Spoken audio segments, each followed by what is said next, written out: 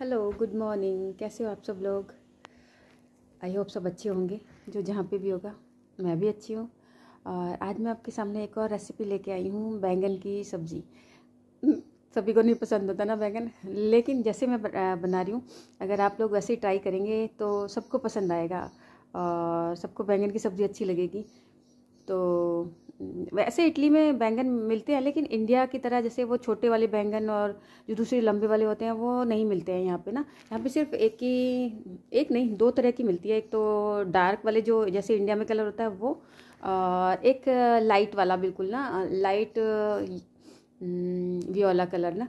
बस ये दो तरह की होती है तो बस मैं उसी की सब्ज़ी आज बनाने जा रही थी तो मैंने सोचा चलो आप लोग के साथ भी शेयर किया जाए ताकि अगर इस तरीके से बनाए तो बैंगन सभी को अच्छे लगने लग जाए।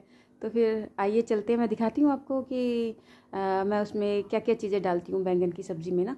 तो फिर चलते हैं किचन में।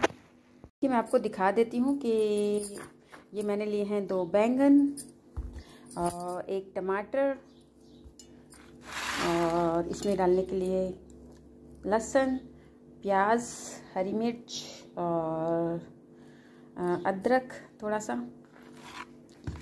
और मसालों में मैं लूँगी, नॉर्मल मसाले हैं मेरे। सबसे पहले नमक, बहुत ज़रूरी है जो। ज़ीरा लाल मिर्ची पाउडर, गरम मसाला, हल्दी पाउडर धनिया पाउडर और हाँ हींग।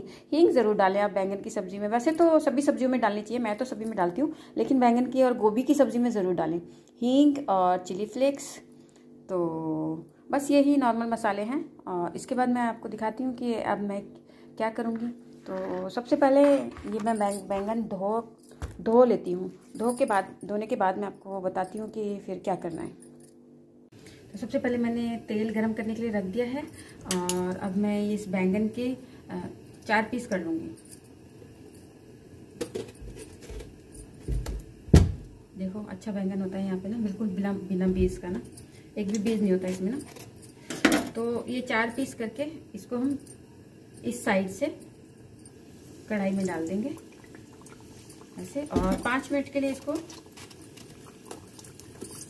ऐसे ही हम इसको फ्राई कर लेंगे। ज़्यादा टाइम नहीं लगेगा सिर्फ़ पाँच मिनट लगेंगे। तो अभी मैं आपको पाँच मिनट के बाद दिखाती हूँ। तो ये देखो मेरे बैंगन पूरा आ, फ्राई हो चुके हैं। ये मैं आपको दिखा देती हूँ। ये देखो ऐसा ब्लैक होना शुरू हो जाए तो समझ लेना कि हो गया है ये ना। और अभी इसको हम निकाल लेंगे। और ऐसे ही अभी मेरे पास जो दूसरा बैंगन है उसको भी मैं फ्राई कर लेती हूँ फिर दिखाती हूँ। तो देखिए, मेरे सारे बैंगन फ्राई हो चुके हैं और मैं इनको निकाल लेती हूँ प्लेट में। ये देखिए, ब्लैक हो गए हैं तो समझ लो कि हमारे बैंगन फ्राई हो गए हैं। तो ये मैं सारा निकाल के एक साइड में रख लेती हूँ प्लेट में।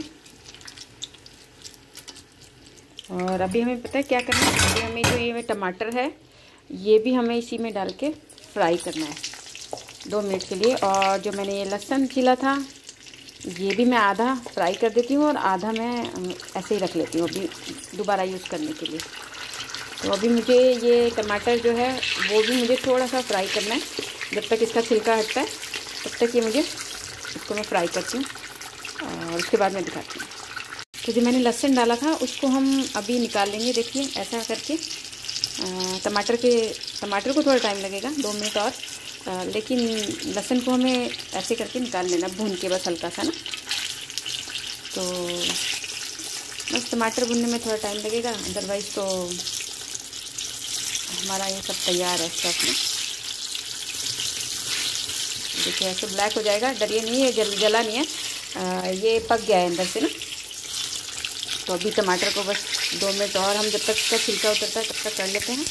और उसके बाद हम क्या करेंगे, उसके बाद हम ये सारे बैंगन छील लेंगे। बड़ी इजीली उतर जाता है इसका छिलका ना, कोई ज़्यादा मुश्किल नहीं होता। और छिलके उतार के हम एक बाउल में निकाल लेते हैं इसको ना।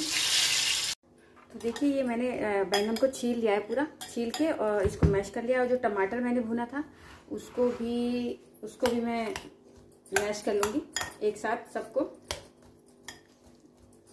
ये सारा चीज़ मिक्स करनी होती है एक साथ ना, टमाटर को भी और इसमें भी बैंगन भी।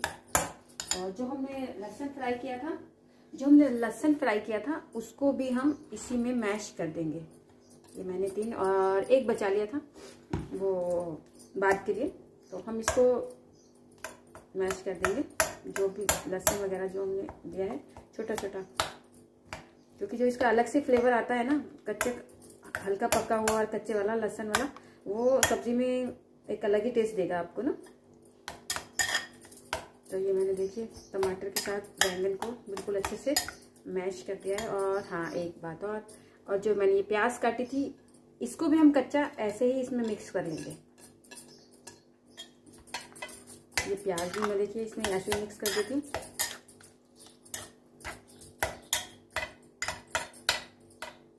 तरह से बनाएँगे तो आपको ये सब्ज़ी बहुत टेस्टी लगेगी, एकदम रेस्टोरेंट वाली ना।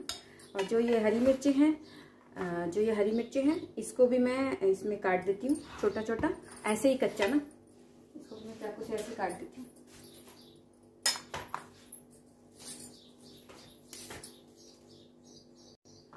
तो ये हरी मिर्च को भी मैं छोटा छोटा ऐसे ही इसके अंदर काट लेती हूँ। ऐसे दिख रहा है? हम्म। पाँच मैंने हरी मिर्चें ली थी। तो इसमें से मैं आधी इसमें ऐसे ही कच्चा काट दूँगी और बाकी मैं सब्ज़ी जब फ्राई करूँगी, उसके बाद उसमें यूज़ करूँगी। और ये जो अदरक है, जो मैंने अदरक काटा है, इसको भी मैं बाद ही बाद में यूज़ करूँगी। ये भी और ये ये दो तीन चीज़ें मैं बाद के लिए भी रखती हूँ। और हाँ अगर आप चाहें तो इसको कम ऑयल में भी फ्राई कर सकते हैं। ये आप आपके ऊपर डिपेंड करता है कि आपको कैसे करना है। टेस्ट दोनों में एक जैसा आएगा। अगर आप डीप फ्राई करेंगे तब भी। और अगर आप चलो फ्राई करेंगे तब भी। तो वो आपकी मर्ज़ी है आप वो जैसा करना चाहें।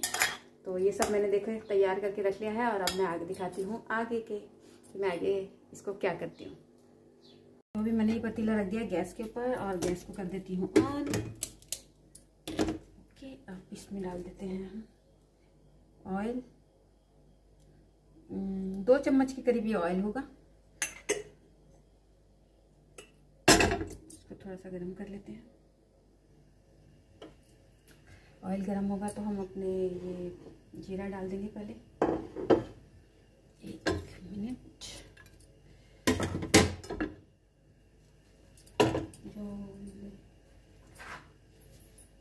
जो मैंने हरी मिर्च ली थी, उसको भी मैं दो पार्ट कर दूँगी। ठीक है? और जो लहसुन लिया था उसको भी मैं छोटा छोटा काट लूँगी। लहसन इसमें आप पेस्ट भी डाल सकते हैं, लहसन अदरक का ना। लेकिन मुझे थोड़ा ऐसा ही अच्छा लगता है, थोड़ा खड़ा खड़ा ना।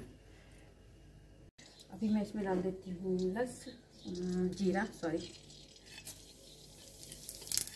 डाल दिया जीरा।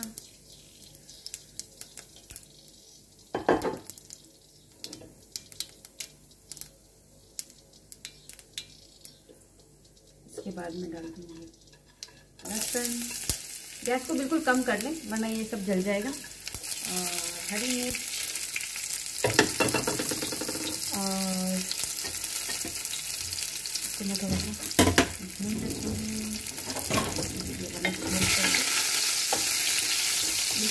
स्लो कर दें एकदम ना गैस को। तभी तीनों चीज़ों को कर लें। मैं इसमें डाल देती हूँ सारे मसाले ये सबसे पहले मैंने नमक डाला नमक पूरा डाल देती हूँ उसके बाद मैंने चिली फ्लेक्स लाल मिर्च हल्दी जो मैंने आपको पहले सारे मसाले दिखाए थे वो सब हम उसमें डाल देंगे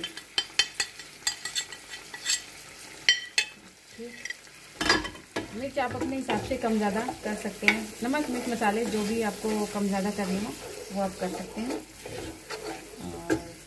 थोड़ा सा तेज़ कर देती हूँ। अब मैं डाल देती हूँ, ये जो हमने मैश करके टमाटर, लहसुन और बैंगन जो रखा था, वो मैं इसमें सारा मिक्स कर देती हूँ। अब इसको ज़्यादा पकाने की ज़रूरत नहीं पड़ेगी। सिर्फ़ इतना पकाना है कि मसाले आपस में मिक्स हो जाएँगे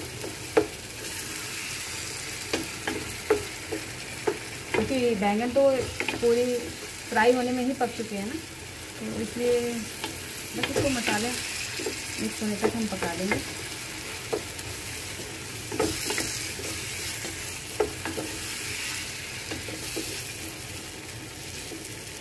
दो मिनट के लिए इसको हम पका लेते हैं और ढक के रख देते हैं। ताकि ये ताकि ये जल्दी से पक जाए इसको दो मिनट के लिए ढक देते हैं। और गैस को थोड़ा सा कम कर देते हैं। तो दो मिनट हो गए हैं और मैं लेती देखिए, पूरा ऑयल और बैंगन बिल्कुल अलग हो गया। तो इस टाइम ये हमारा बैंगन की सब्ज़ी बन चुकी है और गैस को कर देंगे हम ऑफ़ गैस को ऑफ़ और लास्ट में हम इसमें क्या डाल देंगे, जो हमने अदरक काटा था ये हम ऐसे ही कच्चा डाल देंगे इसमें ना। इसका अच्छा टेस्ट आता है कच्चा कच्चा लहसुन अदरक का। और इसको मिक्स कर देंगे।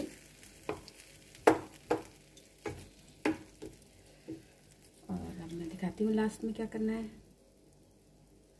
और अब हम सबसे लास्ट में क्या करेंगे? सबसे लास्ट में हम करेंगे, ये हमने धनिया